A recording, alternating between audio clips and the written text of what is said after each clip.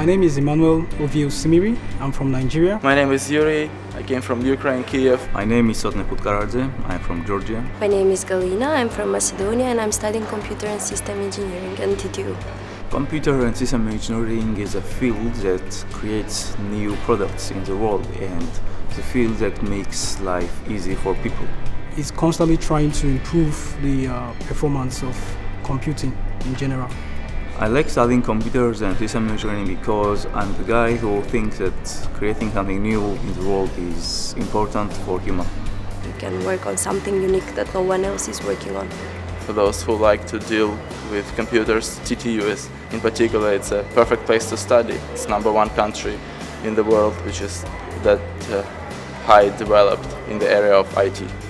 As we know, Estonia is the mother of Skype and um, also like in technology, it's like really ahead of some other countries.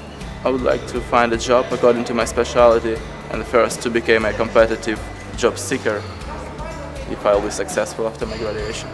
I would like to continue studies. I would like to enroll for a PhD degree in computer and systems engineering.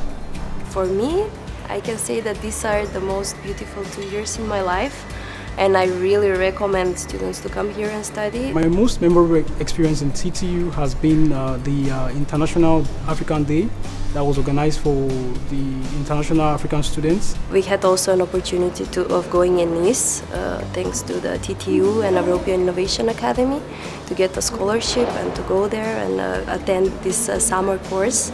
Traveling across the Europe and just studying here. I enjoyed every day almost.